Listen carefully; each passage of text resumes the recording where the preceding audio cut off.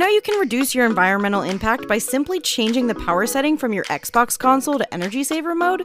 Energy Saver mode uses about 20 times less power than standby mode when the console is not on or updating. To check and see if your console is in Energy Saver mode, follow these steps. To enable Energy Saver mode, start by pressing the Xbox button to open the guide. Head to Profile and System to find your settings.